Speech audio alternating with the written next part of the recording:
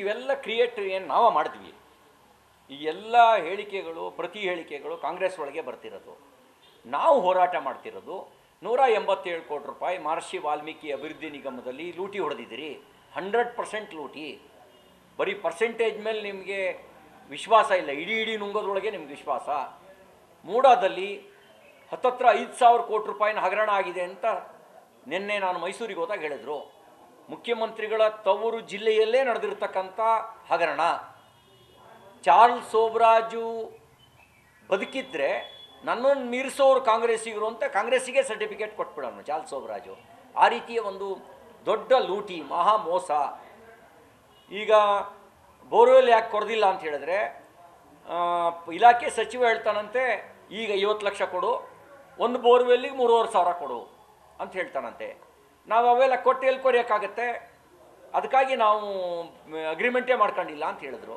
ಇದು ಈ ಸರ್ಕಾರದ ಪರಿಸ್ಥಿತಿ. ಅಂದರೆ ಗಂಗಾ ಕಲ್ಯಾಣ ಬೋರ್ವೆಲ್ ಕೊರೆಯೋದಕ್ಕೆ ಮೂರುವರೆ ಸಾವಿರ ರೂಪಾಯಿ ಪ್ರತಿ ಬೋರ್ವೆಲ್ಲಿಗೆ ಲಂಚ, ಐವತ್ತು ಲಕ್ಷ ರೂಪಾಯಿ ಲೈಸೆನ್ಸ್ ರಿನ್ಯೂವಲ್ ಮಾಡೋದಕ್ಕೆ ಇಲಾಖೆ ಸಚಿವನಿಗೆ ದುಡ್ಡು ಕೊಡಬೇಕಂತೆ. ಇದು ಈ ಕಾಂಗ್ರೆಸ್ನ ಶಾಂಪಲ್ ಇದು.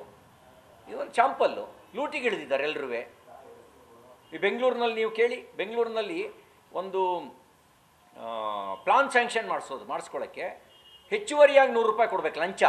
ಫೀಸ್ ಅಲ್ಲ, ಲಂಚ. ಒಂದು ಅಡಿಗೆ ನೂರು ರೂಪಾಯಿ ಕೊಡಬೇಕು. ನೂರು ರೂಪಾಯಿ ಒಂದು ಲೈಸೆನ್ಸಿಗಲ್ಲ ಒಂದು ಅಡಿಗೆ. ಸೈಟ್ ನಿಮ್ಮದು ಮನೆ ಕಟ್ಟೋರು ನೀವು, ಸಾಲ ಮಾಡಿರೋರು ನೀವು. ಇವರಿಗೆ ಅಡಿಗೆ ನೂರು ರೂಪಾಯಿ ಪ್ಲಾನ್ ಸ್ಯಾಂಕ್ಷನಿಗೆ ಲಂಚ ಕೊಡಬೇಕು. ಇದು ಈ ಸರ್ಕಾರದ ಪರಿಸ್ಥಿತಿ. ಈ ಎಲ್ಲ ಹಗರಣಗಳನ್ನು ಮುಚ್ಚಾಕೊಳ್ಳೋಕ್ಕೇ ಮಾಧ್ಯಮಗಳಲ್ಲಿ ಬೆಲೆ ಏರಿಕೆ ಚರ್ಚೆ ಆಗಬಾರ್ದು. ಇವ್ರ ಹಗರಣಗಳು ಚರ್ಚೆ ಆಗಬಾರ್ದು. ನಾನಾ, ನೀನಾ ನೀನಾ, ನಾನಾ. ನನಗೆ ಯಾವಾಗ, ನಿನಗೆ ಯಾವಾಗ. ನಿನಗೆ ಯಾವಾಗ, ನನಗೆ ಯಾವಾಗ. ಈ ನಾಟಕ ಆಡಕ ಇವ್ರಿಗೆ ಕೊಟ್ಟು ಕೊಟ್ಕೊ ಕೊಟ್ಟಿರೋದು ನಾನಾ, ನೀನಾ ನೀನಾ, ನಾನಾ ಅನ್ನೋಕ್ಕೆ. ನಾವು ಹೋರಾಟ ಮಾಡಿರೋದು ಬೆಲೆ ಏರಿಕೆ ವಿರುದ್ಧ. ನಾವು ಹೋರಾಟ ಮಾಡಿರೋದು ಭ್ರಷ್ಟಾಚಾರದ ವಿರುದ್ಧ. ನಾವು ಹೋರಾಟ ಮಾಡಿರೋದು ಇವರು ಹಗಲು ದರೋಡೆ ವಿರುದ್ಧ. ಅದು ಚರ್ಚೆ ಆಗಬಾರ್ದು ಅಂತ ಈ ನಾಟಕ ಎಲ್ಲ ಆಡ್ತಿದ್ದಾರೆ ಅನ್ನೋ ಅನುಮಾನ ಬರ್ತಾ ಇದೆ